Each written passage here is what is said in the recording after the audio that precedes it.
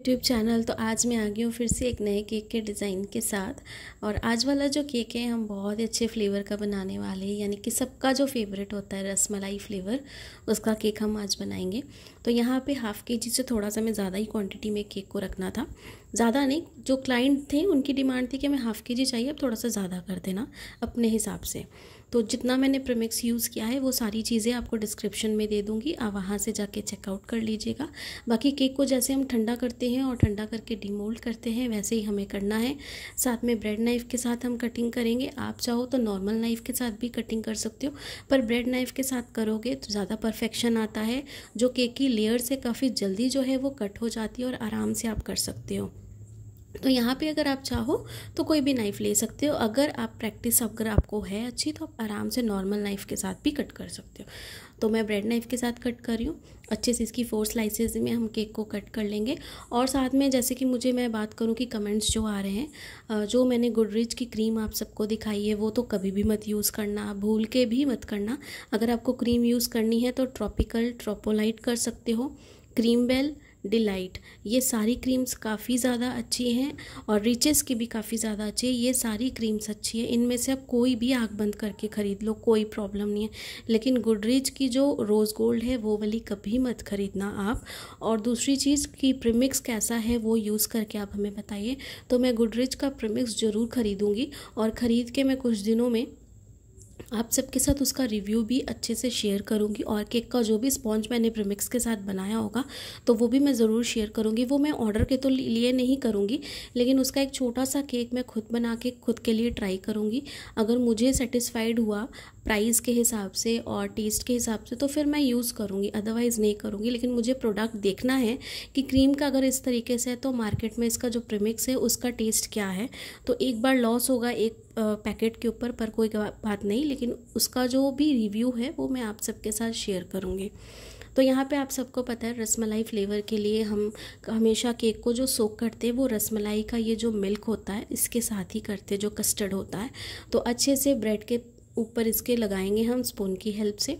और यहाँ पे छोटे छोटे चंक्स मैंने कट कर लिए थे। मुझे जो रसमलाई थी ना, वो राउंड शेप की छोटी छोटी जो बॉल्स टाइप की बनती है ना, वो वाली मुझे नहीं मिली मार्केट से। ये एकदम फ्लैट टाइप की थी। तो ऐसी मेरे पास मैंने चार खरीदी थी केक बहुत ज़्यादा बड़ा नहीं था और बहुत ज़्यादा, इतना ज़्यादा मुझे नहीं लगाना था रसमलाई को।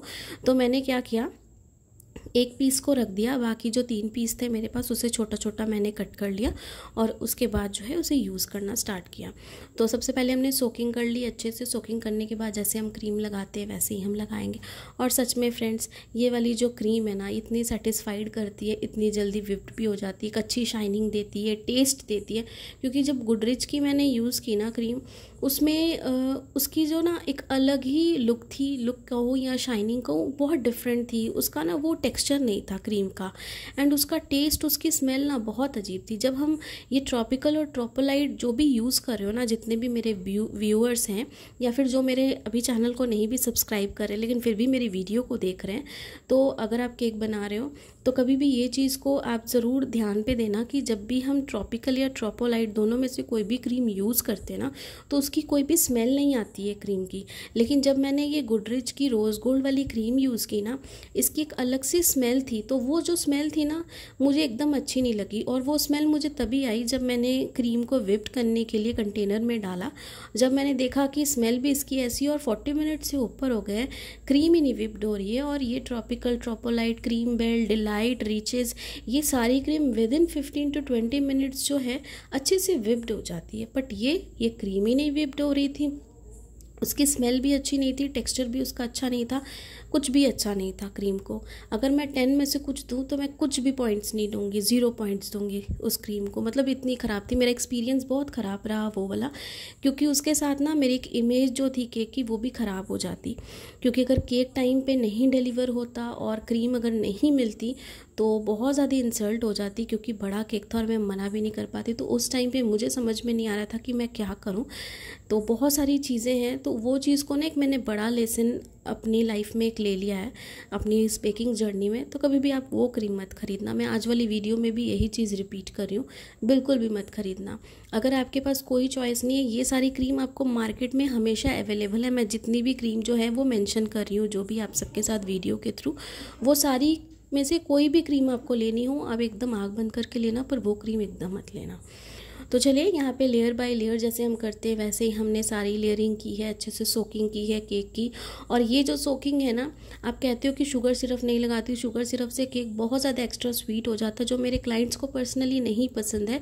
और केक की ब्रेड बहुत ज़्यादा सॉफ्ट रहती तो मुझे ज़रूरत नहीं पड़ती है। लेकिन जब हम रसमलाई केक बनाते हैं ना तो उसमें जो ये हम मिल्क जो यूज़ करते हैं ना, इसका एक फ्लेवर आता है। तो अगर इससे अगर केक अगर आपका सॉफ्ट भी होगा ना, और साथ में रसमलाई के जो छोटे छोटे हम चंक्स लगाते तो ये फ्लेवर एक अलग ही होता है खाने में। तो इसका जो टेस्ट होता है ना, वो आपकी आपको हर बाइट में एक अलग फ्लेवर देता है। लेकिन सिर्फ़ शुगर सिरप जो है ना, उसका टेस्ट बहुत डिफरेंट होता है। तो दोनों में काफ़ी ज़्यादा डिफरेंस है। तो इसलिए हम शुगर सिरप की जगह पे जब भी रसमलाई वाला फ्लेवर हम बनाते हैं केक का तो हम ये ज़रूर यूज़ करते हैं जो भी मिल्क कस्टर्ड है। इसलिए क्योंकि इससे केक का फ्लेवर और ज़्यादा अच्छा आता है और रियल में हमें लगता है कि हाँ हम रसमलाई केक खा रहे हैं। क्योंकि अगर ये नहीं लगाएँगे तो फ्लेवर पूरा नहीं आएगा। तो इसलिए बाकी केक की जैसे हम आइसिंग करते हैं, वैसे ही कर ली स्क्रैपर के साथ सारे केक को अच्छे से। और यहाँ पे मैंने ये ना चॉकलेट गनाज बना ली थी, थोड़ी थिक बनाई थी। तो यहाँ पे ज़्यादा नहीं, मैंने सिर्फ़ थोड़ा सा यानी कि एक जो होती है ना चॉकलेट जो एक बार होता है ना चॉकलेट का, उसको भी हाफ़ ले लिया था। एकदम हाफ़ लेने के बाद उसमें मैंने सिर्फ़ दो चम्मच जितनी अनबिब्ड जो क्रीम होती है, वो डाली थी और अच्छे से उसे मैंने डबल बॉयलर पे मिक्स कर लिया। और उसमें ठंडा होने के बाद मैंने फ़ूड कलर डाल दिया येलो तो ये अच्छी सी थिक सी हमारी जो ये चॉकलेट सॉस है ना, ये बन गई थी। तो हमें इस तरीके से इसे स्प्रेड करना था। मुझे बहुत पतली चॉकलेट सॉस नहीं बनानी थी, थोड़ी थिक बनानी थी। बिकॉज़ इसके ऊपर हम जब रसमलाई के जो मिठाई है वो रखें तो वो काफ़ी अच्छे से फिक्स भी हो जाए और ज़्यादा फ्लोई कंसिस्टेंसी में हमें नहीं रखना था चॉकलेट सॉस को। तो इसलिए हमने यहाँ पे इतनी ही स्टिक बनाई। तो मैं फिर से रिपीट करूँ, जो एक बार होता है चॉकलेट का, उसमें से भी एकदम हाफ़ मैंने लिया, एकदम छोटा सा टुकड़ा, जिसमें मैंने सिर्फ़ दो चम्मच जितना अनविप्ड क्रीम जो है वो डाली डबल बॉयलर में अच्छे से। और कोई भी इसका प्रपोर्शन नहीं, कोई मेज़रमेंट नहीं, अंदाजे से मैंने इतना लिया, ताकि ये मेरी वन टाइम यूज़ हो जाए। अगर आपको ज़्यादा बनानी है तो आप ज़्यादा भी यूज़ कर सकते हो, लेकिन मुझे थोड़ी सी बनानी थी इस केक की डेकोरेशन के हिसाब से तो मैंने आपको उतनी मेज़रमेंट बताई है। इसे हमने अच्छे से लगा लिया है। और यहाँ पे जैसी फ़ोटो थी ना, ये हमें रेफरेंस पिक्चर मिली थी क्लाइंट के साइड से तो हम वैसा ही डिज़ाइन बना रहे हैं। यहाँ पे साइड्स पे जो है, हम आलमंड्स लगा देंगे। इसे मैंने चॉप्ड किया था। आप क्रशर के साथ भी चॉप्ड कर सकते हो, हाथ के साथ भी। तो इसे मैंने हाथ के साथ ही चॉप्ड किया था, ताकि इसके जो भी छोटे छोटे टुकड़े हैं ना, वो भी थोड़े ज़्यादा पतले ना हो, कहीं पर थोड़े मोटे हों। इस तरीके से हमें चाहिए था। तो एक साइड्स पर मैं एकदम जितने आलमंड्स हैं ना, वो सारे लगा दूँगी।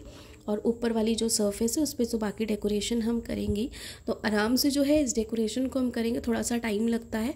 एकदम अच्छे से केक को पहले मैंने फ्रिज में रखा था, उसके बाद ही जो था इसे मैंने डेकोरेट किया। तो ये देखिए, ये रसमलाई है। मैंने यहाँ पे ना, जो ये रसमलाई में भिगोई हुई थी, जो भी हमारी मिठाई है रसमलाई की, आप क्या करना, जो रसमलाई के पीस है ना, उसको अलग से जितना भी उसका मिल्क है ना, उसे स्क्वीज़ कर लेना, उसके बाद उसे यूज़ करना। मैंने यहाँ पर स्क्वीज़ नहीं किया था अच्छे से मिठाई को। इसलिए जो था ना, यहाँ पर थोड़ा सा इसका जूस जो था, वो केक के ऊपर भी चला गया। बट कोई बात नहीं। उससे कोई दिक्कत नहीं हुई। केक की लुक काफ़ी ज़्यादा अच्छी आई और जैसे कि मैंने कहा कि मैंने काफ़ी स्टिकी सा चॉकलेट सॉस बनाया था तो वो एकदम फिक्स हो गया था। तो यहाँ पे चार पीसेस हमने, यानी कि एक पीसेस को ही चार पीसेस में कट किया और इस तरीके से मैंने लगा दिया। साथ में जो ये केक था हमारा, ये सेल्फ पिकअप केक है। इसकी कोई भी होम डिलीवरी नहीं है। क्या प्राइजेज़ मैंने लिए, जब मैं ओवरऑल लुक आपको दिखाऊँगी तो उसमें मैं आपको बता दूँगी।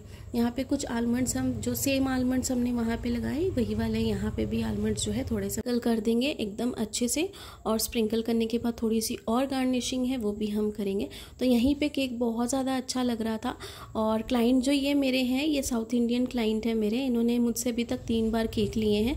तो काफ़ी इंप्रेसिव थे मेरे केक से रिलेटेड आगे भी। तो यहाँ भी कुछ जो है, मेरे पास ये रोज़ पेटल्स थी डेकोरेशन के लिए। मैंने सोचा थोड़ी सी और रॉयल लुक आए। आप चाहो तो इसमें पिस्टैचोज भी लगा सकते हो। गोल्डन जो एडिबल वाले फॉयल हैं, आप वो लगा सकते हो। सिल्वर फॉयल भी लगा सकते हो। आप जितना चाहो, उतना डेकोरेट इसे कर सकते हो। आप चाहो तो ओरिजिनल भी जो रेड पेटल्स होते हैं ना, वो भी छोटे छोटे टुकड़े में कट करके लगा सकते हो, जैसे मेरे पास था। तो मेरे पास एक ऑर्डर मैंने केक का बनाया हुआ था। सेम डे ही ये ऑर्डर था तो मेरे पास कुछ पेटल्स जो मैंने निकाले थे रोज़े से, वो बच गए थे। तो मैंने सोचा कि चलो ये काफ़ी अच्छा लग रहा है और मेरे पास रसमलाई केक का ऑर्डर भी है। तो इस पर मैं थोड़े से लगा देती हूँ। तो थोड़े से ड्राई वाले भी हमने पेटल्स लगा दिए, थोड़े से ये ओरिजिनल भी लगा दिए, ताकि लुक थोड़ी सी और ज़्यादा अच्छी आए। और साइड पे केक बोर्ड के साइड पे हमें कॉन्ग्रेचुलेशन लिखना था, क्योंकि जो मैंने पहले बताया ना कि मुझे प्रमोशन केक आया था सेम क्लाइंट के फ्रेंड का ही था ये वाला भी तो उन्होंने उनके भी हस्बैंड का प्रमोशन था। तो यहाँ पर हमने कॉन्ग्रेचुलेशन लिख दिया। साथ में ये केक की पूरी ओवरऑल लुक है। हाफ़ के जी का हमारा केक था, लेकिन थोड़ा सा ज़्यादा था। तो इस केक का जो पूरा प्राइस था, वो मैंने फ़ाइव फिफ्टी लिया है। आप अपनी जगह के हिसाब से ज़्यादा कम, जैसा है आप वैसा ले है। प्राइस चार्ज कर सकते हो। बाकी आई होप कि आज वाली केक वीडियो आप सबको पसंद आई होगी। पसंद आई होगी तो लाइक सब्सक्राइब शेयर ज़रूर कीजिएगा। ऐसी नई नई वीडियोज़ को देखने के लिए और आपके जो भी डाउट्स होते हैं कमेंट में ज़रूर पूछा कीजिए। जितनी कोशिश होगी मैं वीडियो के थ्रू या कमेंट के थ्रू आप सबके कमेंट्स के रिप्लाई देने की पूरी कोशिश करूँगी। और ऐसे ही हमेशा प्यार करते रहेगा थैंक्स फॉर वॉचिंग